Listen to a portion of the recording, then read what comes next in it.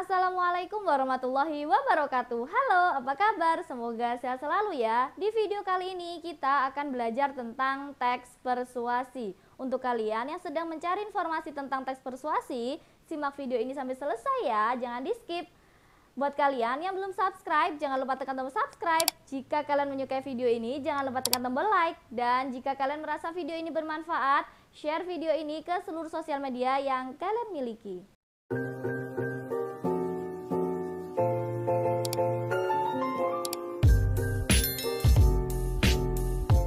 Baik, langsung saja ya. Pengertian dari teks persuasi adalah jenis teks yang bersifat mempengaruhi, membujuk, atau meyakinkan pembaca agar mau melakukan sesuatu. Nah, apa sih manfaat dari mempelajari teks persuasi ini? Manfaat dari mempelajari teks persuasi ini adalah yang pertama, jika kamu sebagai pembaca atau pendengar, kamu dapat lebih cermat dan teliti dalam menangkap sebuah maksud, arahan, atau ajakan. Dan jika kamu sebagai penulis, kamu dapat menggunakan teks persuasi ini untuk menulis pamflet, brosur, atau media cetak atau media sosial lainnya untuk mempromosikan, mengenalkan, serta mempengaruhi orang lain. Bagaimana ciri-ciri dari teks persuasi? Ciri dari teks persuasi antara lain yang pertama adalah berisi data dan fakta. Seperti diketahui, tujuan utama dari teks persuasi adalah untuk mempengaruhi pembaca. Jadi, data dan fakta tersebut sangat penting perannya sebagai alasan-alasan yang kuat dalam mendukung isi dari tulisan. Kemudian, ciri yang kedua adalah argumen harus meyakinkan pembaca. Satu di antara tujuan dari teks persuasi adalah untuk meyakinkan pembaca. Teks ini berusaha meyakinkan pembacanya untuk melakukan atau mempercayai yang ditulis oleh penulis.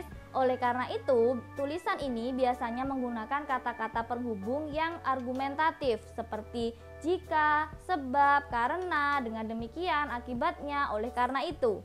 Kemudian, ciri teks persuasi yang ketiga adalah berisi kata-kata bujukan. Pengertian dari teks persuasi adalah sebuah teks yang bersifat membujuk, tentunya isinya adalah kata-kata ajakan. Teks ini banyak menggunakan kata-kata bujukan dan kata kerja imperatif seperti ayo, mari, lakukanlah, penting, seharusnya, e, waspadalah, dan lain sebagainya. Selain itu, teks persuasi biasanya menggunakan kata-kata teknis atau istilah teknis yang berkaitan dengan topik yang dibahas. Dan ciri yang keempat adalah menghindari konflik. Teks persuasi memiliki ciri lainnya yaitu menghindari konflik. Hal ini biasanya dilakukan untuk mempertahankan kepercayaan pembaca. Pendapat dan fakta digunakan dalam teks persuasi tujuannya untuk mempengaruhi pembaca supaya mengikuti ajakan-ajakan penulis. Nah, selanjutnya kita akan belajar tentang jenis-jenis teks persuasi. Teks persuasi dibedakan menjadi empat jenis, yakni persuasi pendidikan, persuasi politik, persuasi iklan, dan persuasi propaganda. Yang pertama, persuasi pendidikan.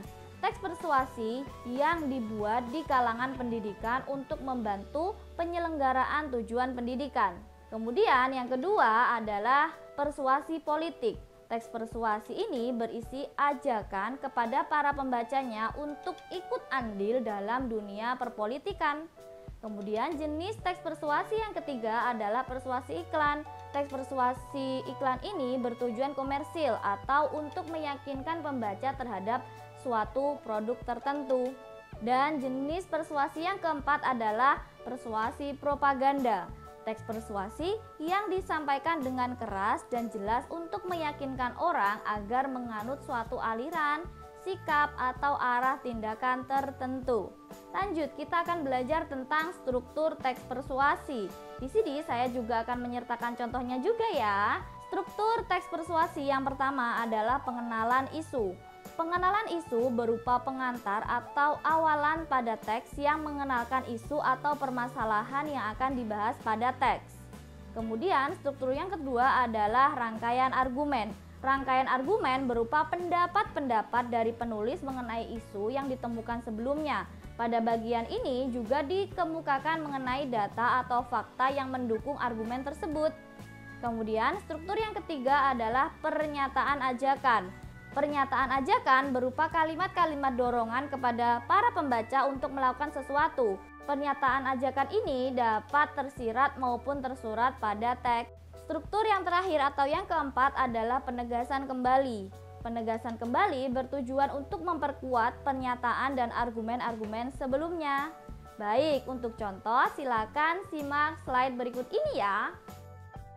Judul dari teks persuasi ini adalah Buanglah sampah pada tempatnya.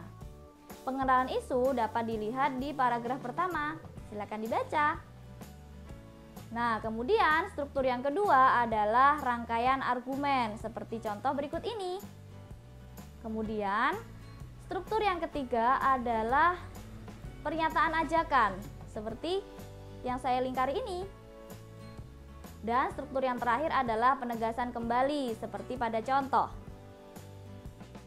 Bagaimana? Mudah bukan tentang teks persuasi? Di sini kalian sudah belajar tentang pengertian, manfaat, ciri, eh, jenis, serta struktur dari teks dan disertakan juga contoh dari teks persuasi. Bagian mana yang masih kalian bingung? Semoga sudah tidak ada ya. Untuk materi kebahasaan teks akan kita bahas di video selanjutnya ya. Sekian, terima kasih. Apabila ada kekurangan materi, saya mohon maaf yang setulus-tulusnya.